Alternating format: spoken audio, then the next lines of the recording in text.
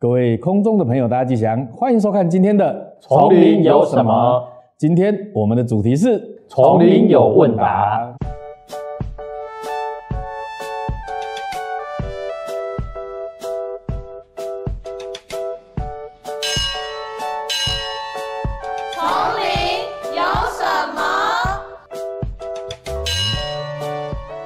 到这个问答呀，在佛门里面是一个很珍贵的过程哦，有问有答，有时候道呢就从这里去感受到、去明白。所以呢，在三十系列里面呢，有一句话：“鼓响自然非呼之而不答。”哦，意思就是说，在山谷里面呢，怎么样会有回音？怎么样会有声响呢？必须你要主动提出音声来，它才会有回音。我想这个就是很重要的一件事情了。所以今天呢，我们的问答到底由谁来提问呢？我提问，我已经等了三集了，之前都是我回答，你们两个问我，问到连观众都留言说我回答太多了，所以今天我提问，你们两个负责回答。为什么你们那么多问题啊？问题的人并不代表他不懂，就像须菩提尊者一样，他就是因为非常了解空性的智慧，所以他知道大家的疑惑是什么，不了解是什么，所以由他代替来问佛陀问题。慧中法师回答的真是太好的提问，是种慈悲。但就我所知啊，吼，这个不回答也是一种回答，有时候不回答也是一种慈悲。你看，我们在这个《维摩经》里面最经典的就是一默一声雷，然后不回答比这个回答还有力道哦。所以，是不是我们今天就可以不见得要回答慧中法师提的问题？那我们可以下班了，录完了。差不多。那就跟院长说结束了。对对对对。这不是在开玩笑吧？不过我们这个言归正传哦，真的是这样。像在佛陀时代呢，其实有弟子跟佛陀请教问题，佛陀并没有直接给他答案哦。然后呢，等到这个弟子离开之后，旁边的侍者就问佛陀说：“哎呀，现在这个伟大的佛陀啊，你明明就知道这个答案，您为什么不回答他呢？”这时候呢，佛陀就告诉这个身旁的侍者说：“其实我是知道答案的，但是呢，如果我告诉他答案，他只能够证得这个比较小的国位。”哦，但是呢，如果我不告诉他答案，他自己去找，他或许呢会得到更好的成就、更大的觉悟，所以呢，佛陀才刻意不回答他。所以佛陀其实当时是一念慈悲啊，让他自己去思考，哦，比直接给他答案的力道还要来得大。哦，所以我们今天其实也不是特别为了向谁来回答，也许我们在回答的过程当中啊，我们也试着去理清我们自己生命的方向。然后找到自己该走的路。第一个问题，有空中的朋友很关心，我们在每一次的丛林有什么的节目中，事前的准备工作是怎么进行的？要花多少时间来准备跟进行？好，这一题由我先来回答。我们在整个丛林学院给我们主题之后，我们大概会花两到三个礼拜的时间啊，做这样子的一个准备跟练习。那这三个礼拜呢，我们会分开来收集。所有跟主题有关系的内容啊，从这个藏经里面啊，从大师的全集里面啊去收集。那在这个收集的过程当中，我们找到一些方向之后，我们会进行两到三次的读书会。那那个读书会，我们彼此交叉去分析跟讨论，因为对佛法的义理，有时候我看的角度跟大家看的角度不同，所以我们在交叉辩证之后，离出一个比较完整的方向，然后在白板上再写下。整个半小时应该要呈现铺成的一个架构跟次第，然后再练习，然后再上摄影棚。所以实际上就是说，像刚刚慧智法师提到的，就是说我们大家的观点会不一样，所以我们透过交流也比较可以离出一个就是大众比较能接受的方式了。对啊，所以你就说，虽然读书会这两三次哦都短短的时间不长，一个小时多，但实际上从接收到题目到开录，只要我们把这个题目放在心上，实际上我们就是。准备了两三个礼拜了，应该是这个样子。所以透过学习跟互相讨论，都能够去成长。那么刚才所提到的，对于从佛教的大藏经啊、金云大师全集里面去收集资料，就像在佛学院的佛学研究法的课程中，也会教导大家如何去使用这些大藏经工具书，然后来做深入的学习跟研究。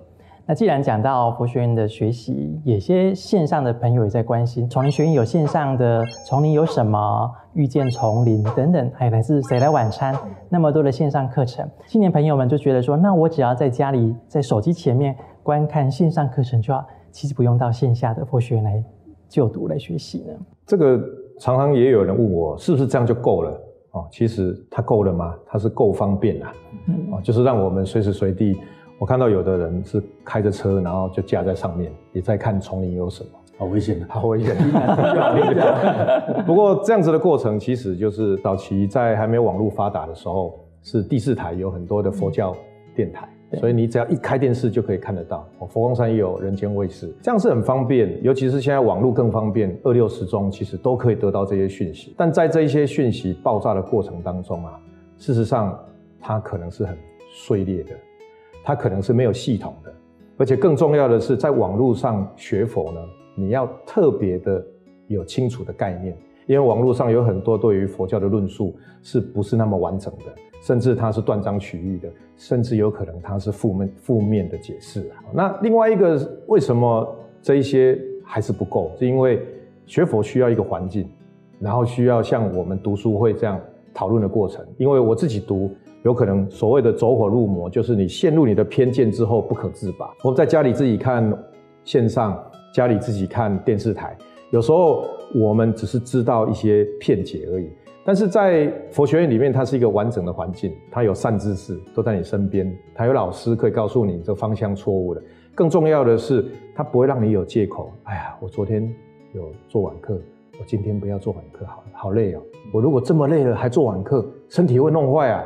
哦，一天、两天、三天，你所有的定课，你所有的学习就会中断。所以在家学佛。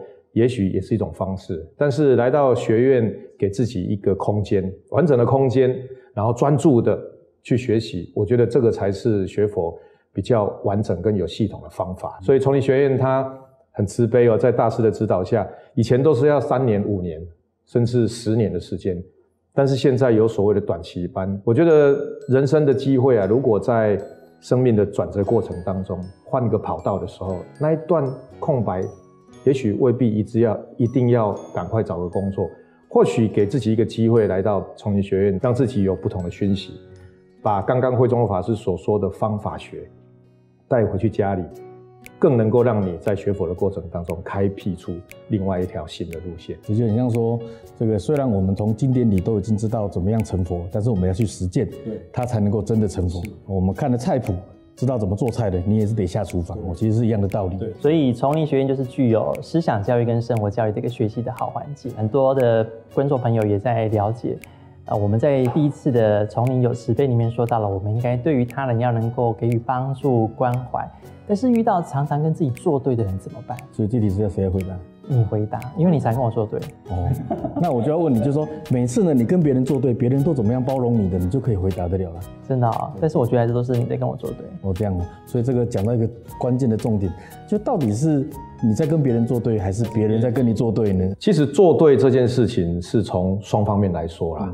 就像我们常讲说，两个铜板才敲得响，嗯，一个铜板是不会响的。嗯，所以作对有时候我们会嗔恨。跟情绪是因为我们只看到对方，嗯，可是却忘了看到关联性里面的自己啊，嗯，所以做对这件事情是有冲突，嗯。绝对是双方共同产生的关系啊，而且有时候是我们怎么解释人家这个行为，比如说有时候呢，父母亲为了你好，在教育你，在提点你的时候，你觉得这个父母怎么在跟我作对？所以这个有时候是真的是不容易理清的，但是我认为理清了之后，就找得到解决的方法。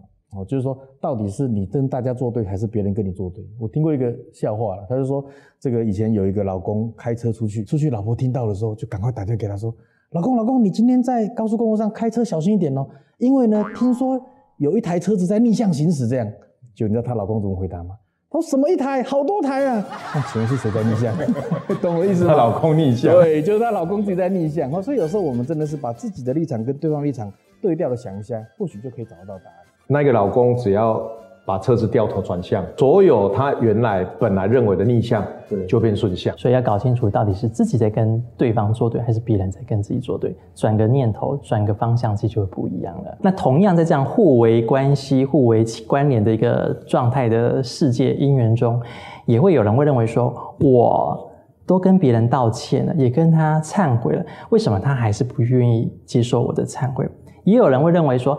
你伤我那么深，为什么我那么要这么容易的接受你的忏悔跟道歉呢？面对这样的问题该怎么办呢？其实我觉得刚才这个慧中法师提的这个问题，就是他提的是同一个问题，只是两个角色而已。所以其实我觉得这个问题是回归到刚才的三个问题概念一样。我觉得有几个地方要检讨了。一个就是说，我们对于人家的这个伤害，我们是不是真的诚心道歉？哦，一种就是我们道歉力道不够，一种就是说，实际上我们能做的都做了，那我觉得我们心里要放下，我们表达了我们该表达的。那反过来说，如果是别人跟我们道歉，我们是不是一个能够接受别人道歉的人？坦白说，你不接受别人道歉，最后背的这个重担的还是自己啦。哦，所以我觉得回归到三个题目的概念，就是我觉得我们要立场互换，哦，放了自己，也放了别人，做自己应该做的，我觉得应该就可以。就是回归到自己身上啊，我们尽了最大的努力，然后假使对方还没有办法接受，那我们应该就要顺着选择放下，然后接受，因为那毕竟是过去我们所造造下的因啊。然后刚慧平法师也讲到一个重点，就是那在这一个对方不愿意放过你的那一个状态之下，那我们的心情该如何？这个有点像大师说的，我们在不会教书的老师身上学习怎么教书。我们在冲突之后，你也道歉了，不愿意原谅你的这样子的一个状况之下，我们也可以思考说，那下次如果我们遇到这样的状况，我们怎么对待别人？我觉得这个就是佛法美妙的地方。所以在这个世间那么多的人我互动的关系因缘啊，人间、时间跟空间里，那在佛学院里面是不是就不用面对到这样的复杂的关系，都是一片净土的状态呢？人间佛教这个“人间”两个字，也可以说是人与人之间呐、因为这个佛教要实践在哪里，就是实践在人与人之间。所以刚慧中法师说，哎，丛林学院是不是一个诸上善人聚会一处的净土？我们先假定丛林学院是一个净土，但如果你程度不够的话，你去到那边呐、你不知道什么叫净土，你不懂得欣赏原来净土的和谐是这个样子的。也因此，我们在弥陀世界里面有所谓的莲花化身。为什么要莲花化身？因为它的程度还不够到净土世界去。可是阿弥陀佛很慈悲，先让你来，但是你要在花苞里面先做所谓的补习班，然后等到你成熟了之后，那花开见佛，见见到阿弥陀佛。然后你从莲花化身走出来之后，哎，你才会适应说，哦，原来这个地方的和谐是这种和谐，美好是这种美好。所以是净土非净土，即名净土，是看你有没有那个程度去看待这个净土，看出这个净土的好坏，这样子。其实这个我就想到之前也是这个丛林学院的一个活动，叫“谁来晚餐”嘛，就有一个学员也是提了一个类似的问题，他说：“这个我到了丛林学院就能够找到生命的答案吗？”那我想到我那时候给他的回答是说：“如果你准备好了要找生命的答案，那你就能够在这里找到生命答案。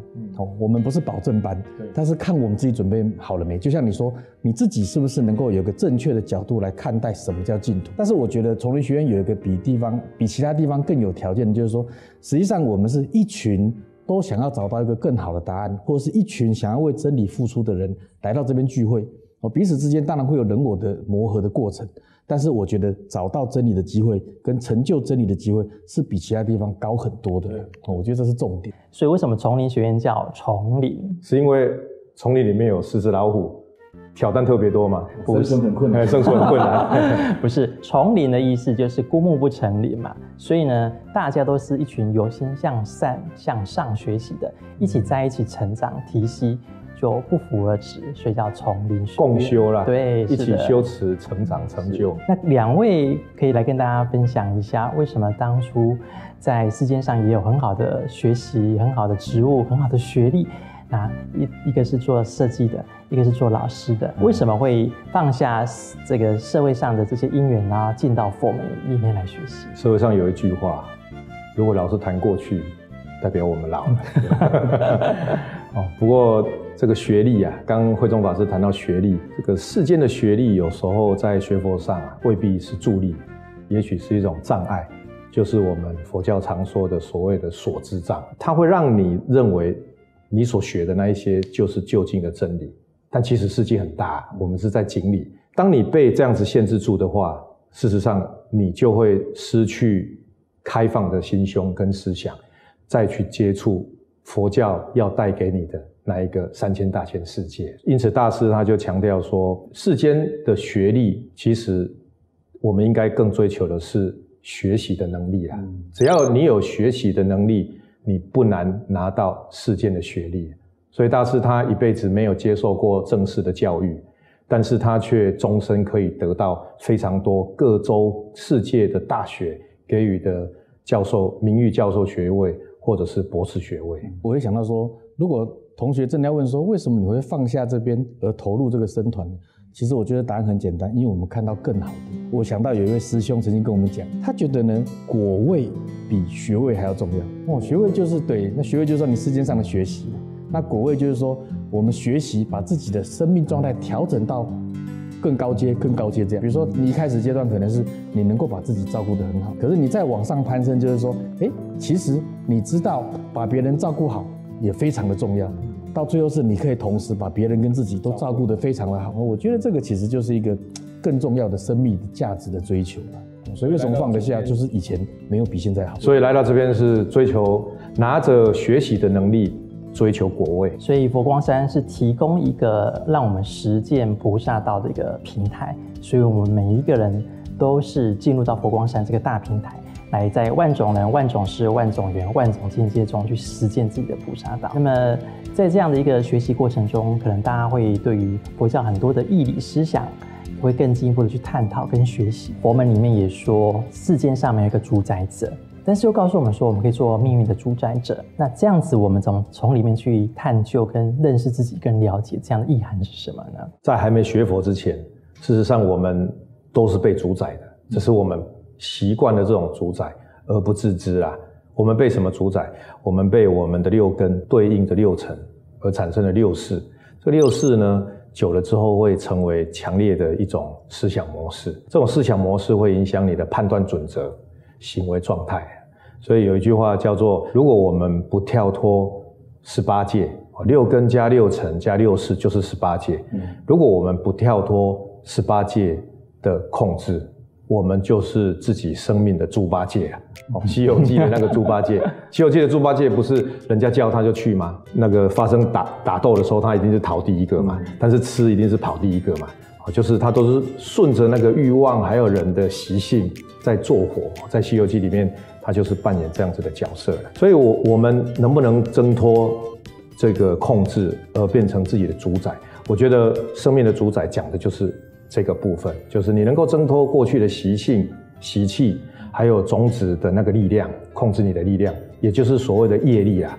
好，挣脱了业力之后，好，那将它化为我们的工具，然后让我们的方向顺着这个流，往好跟善美的方向继续前进，那个才叫做主宰。我我也觉得说，可能问这个题目的同学，我们也在理清一下，就到底什么叫主宰？就是说，如果说你的主宰就是主导、完全控制。那我确实觉得说它是不容易的。第一个，世界上没有人可以主宰我们；第二个，我们也不能完全的主宰自己。哦，但是我觉得我们可以类似主导。那主导就是说，在我们可以控制的因缘里面，我们让这一环因缘发挥最大的影响力。就比如说，这个虽然有因跟果中间有一个缘嘛，我想在之前的前几集也提了这样的概念，就是说我想要成就一件事情，我就培养这样的因缘。我在我能控制的范围，我就去努力、勤奋，我去奋斗。我觉得这个就是一个。主导哦，那但是我的主宰就是我们没办法完全控制自己的。那我们的身体叫做成住坏空哦，心理生住意灭哦。但是我觉得我们应该是把自己的影响力发挥到最大，这就是一种主宰，而不是有一种错误的期待。那个错误的期待就是说我希望我永远年轻貌美、长生不老。而我觉得这个其实就是一个错误的期待，你也不可能主宰。如果从缘起法的角度来看，哦，这个命运、命运所谓的命运，我们今天所看到的都是果。那我们对现况的果不满意的时候，其实，在缘起法里面有一个非常具有代表佛教生命态度的，就叫做助缘啊。你可以投入助缘，你不喜欢的这个果，你可以在下一秒钟，你把它当成因啊。譬如说，如果你笨，你很笨，这是一个果嘛。之后你先接受它，之后让它转化成下一秒钟的因，然后你加入助缘，这个助缘是什么？勤劳。那你也许没有办法像贝多芬一样，六岁坐上钢琴台，噔噔噔噔就把一个名曲弹完了。嗯，但至少你能够改变现况，叫做不那么笨，或者是有一点聪明。嗯，没有办法变成绝顶聪明，但至少你已经脱离了现况。你把现况，你的果有可能是业力带来的果，这个变成下一个因，加入助缘，然后再让它变成更好你所期待的果。所以我想，其实经过会知法师这样解释，我想我们的这个听众朋友啦，或者是我们同学，就比较能够理解。我觉得这是一个概念，就像这个大师常常讲，做的时候努力创造因缘，做完之后结果随缘。随缘就是说，我们真的努力过了之后，我们就对结果接受。放下，甚至学会欣赏。对对，然后呢，甚至我们要再创造另外一波姻缘高潮，那当然就是我们后来要努力的地方。所以没有所谓的主宰不主宰的问题啊，因为如果是想去主宰，就是一种强求。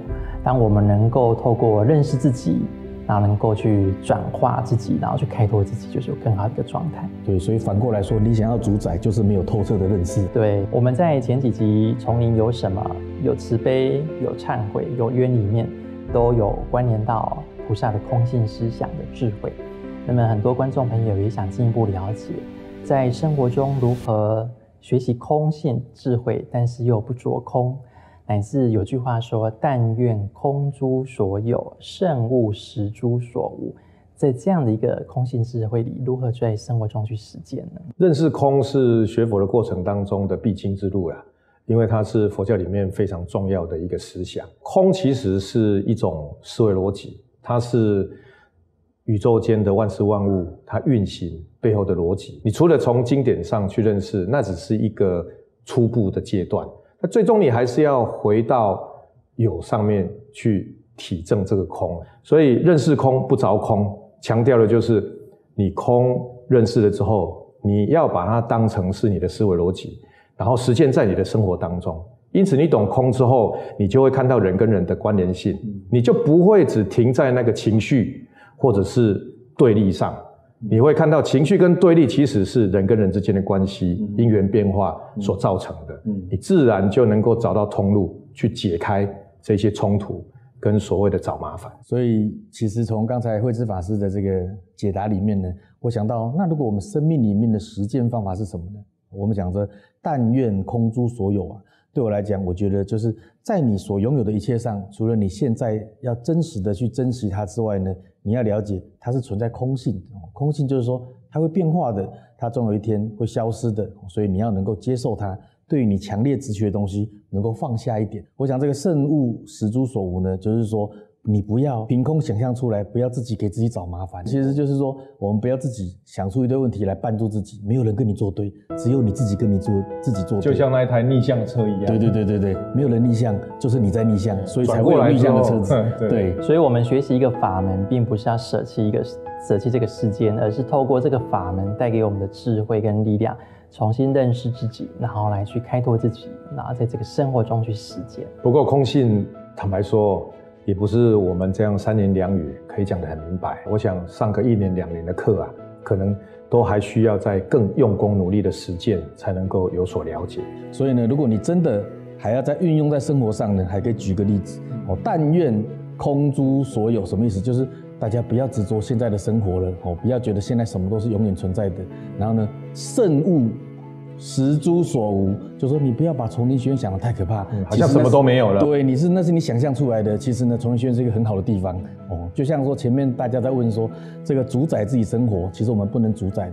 那就是我们虽然不能够保证我们可以马上成佛，但是我们当下就可以决定我们要报名丛林学院，这样大家能够了解，给自己一个因缘。对对对对对对，非常感谢空中的朋友提供的那么多的问题，也感谢两位今天非常精彩的回答，也感谢你慈悲的问题，谢谢。对，谢谢两位没有不回答而回答，还是终于啊非常慈悲的跟所有的空中的朋友回答所有的题目啊。那我们今天的丛林有什么就到这边圆满了。丛林有什么？我们看订阅率，再见。啊，总算圆满了啊！不过我们今天会不会讲了太多的丛林学院，自入性行销太强了？我觉得不会，因为它真的很好啊，可以给你很多方法。不是好东西，我们是不会随便分享的。对啊。